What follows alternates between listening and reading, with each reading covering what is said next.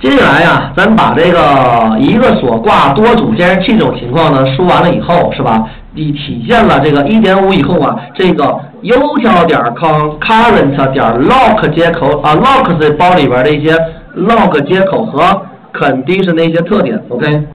那么你必须要明确什么呢？就这个 lock 接口吧，它干了嘛？是吧？condition 接口啊，它干了啥？是吧？condition 接口它干了啥？哎，有的哥们问个问题啊，就是很疑惑，说老师，我就纠结呀啊，他哥们连个对象都没有，给我老婆接口，搞得他自己实现吗？对吧？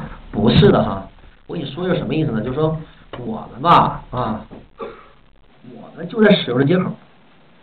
听懂意思吧？这这我再说一遍哈，我们他给我报的是不是接口？我们就在使用这接口，我们实现不？我们实现不？我是他干嘛？对吧？换句话说，你会实现吗？你不可能啊，懂了吧？那老师这会叫干嘛呀？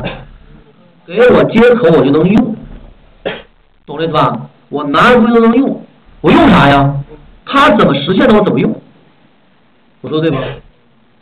对不对？他自己在做实现的嘛，我就拿着用就完事了嘛，就这个意思。那既有这不是有扩展性吗？紧着，log 这有什么特点呢？它的出现怎么样？替代啥？替代了同步代码块或者什么同步函数。大家，我比它 API 写的稍微打白话一下，好吧？不好读它那个啊。替代同步函数嘛，什么样啊？叫做什么？这个这个这个这个这个这个什么样啊？将什么呀？将同步的隐式锁操作变成了显示锁操作，是这样吗？就完事儿了呗。同时怎么样？同时更为什么？更为灵活，可以一个锁上怎么样？对，可以加上多组什么？监视器，就这么回事儿，大家啊。而且有什么方法呀？叫做 lock 方法，这什么？获取锁。啊，获取锁，unlock 方法，这什么呀？叫做释放锁啊。同时怎么样啊？哎，不是，这这这是后面写啊。通常需要啊，定义到哪儿？叫到 finally 代码块中，这就完了呗，对吧？这个锁必须要释放啊，不释放不行。Condition 就玩意儿呢啊，知道它的出现替代谁？替代了 object 中的什么？这个 wait 呀，notify 呀，notify，no notify 哦，方法对不对呀？替代的方法那叫什么样呢？将这些监视器方法那。单独进行了什么？进行了封装啊，变成了什么？变成了监啊，condition，condition 监视器对象啊，可以和什么？可以和任意的什么所进行组合，就欧了吗？大家，它里边听啥方法了呀？那不废话吗？首先有谁？await 啊，相当于 wait 吧？single 到相当于 notify 啊，哎写错了，single，还有一个什么？Single 到相当于 notify all 就完事儿了吧大家，欧了吧，欧了啊，这就不再多说了大家，像这样的对象，老师要不讲的话，其实你们一样可以用，来大家往这儿看啊，这里边它本身给我们提供了一些范例，让我们可以简单的爽一下啊。别忘了，大家啊，在使用的时候该怎么去用呢？这个、这个、这个、这个、这个、这个 lock，这里边首先有一个 lock 接口啊，在用的时候，它给你使用了一些什么？是不是常用的一些代码范例啊？哎，人家就告诉你了，是 finally，这个就是 try finally 这种应用了，大家不用再废话了。紧跟着呢，在我们看 copy 的时候呢，嗨了屁了吧？有没有？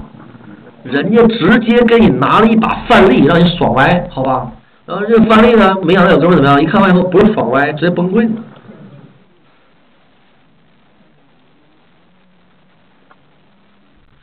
来，大家，我们简单的读一读，好吧？啊，这个范例呢，本来吧，正常来讲呢，我们讲这个生产消费者是吧，应该举这样的例子才对，懂我意思吧？因为这个才是真正的实际开发用的情况，哪有用一个变量的呀？是吧？说你是一只鸭子，我就说吃一只，我我挂我一直生产，明白吧？我这挂一堆鸭子，我可以挂一堆，可是造，对吧？我吃，我这你拿光了吧？我在生产，对吧？我生产挂满了，我还生产吗？就不生产吧？我等你吃嘛，就这意思。那么大家往往这看哈，首先呢，这是什么包的 buffer 是吧？这是缓冲区啊。这里边呢有一个锁，有没有？这里边有两个什么监视器啊？这个叫做什么飞满，叫飞空，这能听懂吗？嗯。我那里边定义的吧，是一个 name 变量，记住是烤鸭那名字。这个里边定义的啊，是一个数组容器，这里边放的是对象，怎么样？说白了，人家是真正定义了一个能装一百只鸭子的什么？框，清楚了吧？是这么回事啊。紧着它下面什么呀？下面这些，一个 put 是存，一个 tag 是取，对吧？count 计数器这些全都用来干嘛？操作数组的什么变量？一起看一看哈。这个 buffer 里边给我们提供两个方法，一个是存，一个是取。啊，这词都认识吧？大家都认识啊。这个存呢，就说。你给我只鸭子，呃，注意听啊，我就把对象说成鸭子了，能能听懂吧？啊，你要非得立成馒头也行，听懂意思吧？啊，但是你不得知道吗？心脑病是不是有肉吃啊，说馒头有劲吗？对吧？得说烤鸭，好吧？你给我一只鸭子有没有？我康是不是进来了呀？拿到锁是这样，注意听，如果你拿到锁了，在里边操作的过程中，这哥们能取吗？是不是能取啊？你们用同一个锁。听明白了吧？哎，用同一个锁。这哥们儿一拿到锁以后，这哥们儿读它就拿到锁了吧？哎，就这么个意思。那因为什么？因为这个锁是互斥的。现在明白什么叫互斥了吧？你拿我拿不着，明白吧？OK。然后呢，这里边我拿着锁以后，我进来我开始判断了。我大家看，是不是我要判断？记住大家，判断标记的时候，判断条件的时候，一定要用 while，因为什么？因为安全。听懂了吧？记住的没错，因为 while 安全。我每一次醒来。我都先判断标记，听懂意思吧？这个是最安全的做法。哦了吧？因为这标记到底会不会改，谁谁都不知道啊。所以我每次醒来，我都先看看到底有没有，有我就不做，没有就做。哦了意思吧？哎，记住这个，这个 while 是必须的，而那个到底是不是 all，、哦，这很这就不一定了，明白吧？我如果能实现唤醒对方，我根本不需要哦。哦大家，因为 all 可是会把本方唤醒的。如果你挂了多组间隙的话，大家是不是可以唤醒对方啊？说老师，我把对方全唤醒，和唤醒一个有区别吗？还有点区别的，大家，你试想一下，我把对方全唤醒，是不是一个活了呀？不不，是不是全都活了呀？但是不是只有一个运行啊？这个运行完以后，是把标题改改掉了，这个标题改掉以后，另外一个人再过来，是不是一样挂呀？那么这个另外一个人还过来吗？又不用了吗？是吧？那怎么办呢？那我就唤醒一个就完事儿了呗。是吧？你们有没有换太多嘛？关于效率问题嘛？来看着哈，这是计数器，这是我们数组的长度。如果计数器到了数组长度，考到位了吧？啊？这壳子里边是不是装了一百只烤鸭了？已经？大家还烤不？不烤了，是不是 wait？哎，就这意思嘛，就 wait 了嘛。那么说没考满呢，我还我这还好好多只呢，是吧？可劲造，是不是？来一只存一只，对不对？看这是不是动动手？哎，这找标嘛，存嘛，对吧？存的指针嘛。来一只往数的存一只，来一只存一只，大家看这个存的是不是在加加？对吧？我存到零点八上以后干嘛？零点八加加变成一嘛？大家一是不是长度啊？不是，知道吗？那没事。如果说加加变成长度了，大家到位了吗？到位了，我直接干嘛？把这个指针置为零。啥样？清空？谁说的？别逗了，好吧？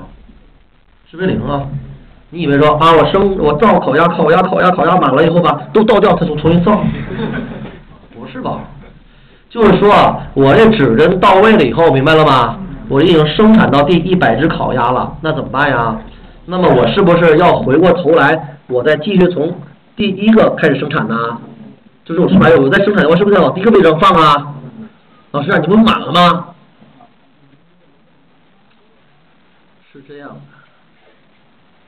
你不是有人消费吗？啊？还听懂没这个？你不有人在消费吗？你生产从一号开始编号嘛，对吧？生产一烤鸭、二烤鸭、三烤鸭、四烤鸭，我就是是不是一直在生产？现在就这样嘛，是吧？来来，接着干嘛呀？那接着消费者不消费吗？他不是拿烤鸭来了吗？他他怎么拿呀？他得从一号开始吗？我拿一只烤鸭，再拿第二只烤鸭，再拿第三只烤鸭，是不是这样？这就完了嘛，就这样嘛，是吧？然后呢，大家看，他们如果说没有到长度的话，那么这个抗再加加，再记住住呢烤鸭的数量嘛。那么记住烤鸭数量，是不是意味着我生产一只了呀？生产完以后，我是不是告诉谁呀？我是不是告诉另外一个取的哥们过来？哎，哥们儿过来取一个，是不是？我不是不是过来取一个，哥们儿有了，过来取来，没错吧，大家？哎，就欧了嘛，大家啊，几个人呢，咔就把手给释放了嘛。然后把取的哥们来了吧？取的哥们一来怎么样啊？判断说，哎，有没有有没有鸭子？这是不是记住数量的呀？没有，等于零嘛？没有，怎么办？wait，稍等啊！哎，就这意思嘛，大家。然后怎么样啊？那要是老师不为零呢？他不能有啊？有怎么办？取嘛？末值是零，我从零角到开始拿，懂了吧？你不是你有吗？你不刚从你不是从那边开始往后放的吗？我就从那边开始拿，OK 吧？我拿一只完以后，我就判断说，我加加了吧，就变成一了。一的话判断说到长度没？没到，是这样吗？那就继续拿。那到长度怎么样啊？至为零，有没有？我就是什么？我一直拿到什么？最后一只了吧？那么是不是回过来再重新开始拿呀？就这意思嘛。流水线开始拿烤鸭呗。我拿一只怎么样？少一只嘛。那几个人我是不是告诉应该说，哎，接生产，对不大家？就这么回事嘛。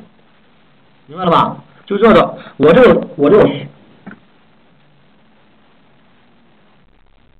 我不画一百个哈，一百我画不下啊，我就画什么呀？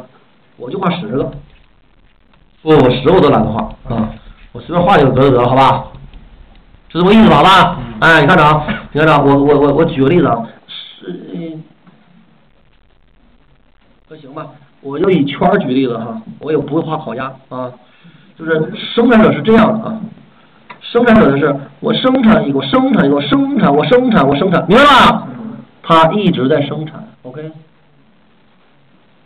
消费者干嘛呢？消费者从这边拿呀，对，就是我拿一个，我我拿一个，我我拿一个，我这拿能明白我的意思了吧？啊，就这么回事啊。我这然后是那什么呀？我就我我生产，我生，哎，满了。哎，回来从这地儿，我这生产我的生产我的生产，懂我意思吧？这个为什么呀？我就我就干啥？我就我拿一个，我拿一，哎哎，这拿一半了。我拿一个，我就再拿一个，到位了吧？我就回来从头我再拿。现在懂了吧？嗯，就这么回事大家。其实这种做法比较常见，明白了吧？哎，为什么？因为我们通常操作数据量是不是比较大呀，对吧？你搞一堆生产消费者一次生产一个，这不太合适啊？这个是吧？我们就可着劲的生产，你们就可着劲消费，是吧？那就完了。什么停啊？生产满了就不就不生产了，消费光了就不消费了，听懂意思吧？那什么？等着，我们在这生产，告诉你一声，对吧？这时候叫等待唤醒机制，是这样的。那么回来看，这代码是不是可以看得懂了呀？是这意思吧？哎，那么这代码呢，你们可以试着把它自己做一遍，听明白了吧？自己做一遍。那么注意，这个 wait 方法呢，它会抛出一长，那么它没有去做 catch 动作，是因为它抛出来的吧？知道谁调用我怎么样？谁来处理？是不是意思啊？你要愿在这边做 catch 是不是也可以啊？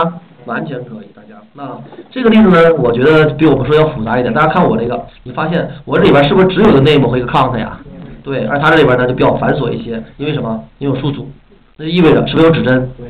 对，而存和取的指针呢，还得分别定义。听明白了吧？同时还得记住什么？数组里边元素的个数。OK 了，那这个呢是它这个代码示例，相对比较繁琐一些，老师没有去写，因为我们要是刚写这个示例的话，你们光琢磨数组是不是晕半天的得？我估计是这样，因为代码比较繁琐啊。所以呢，把这示例讲完以后再看就很容易多了。OK。再多的就不用再多说了啊！这里边就讲了一下这多生产者、多消费者在1.5版本以后是如何进行解决的。原理就是一个锁上挂上多个监视器。OK。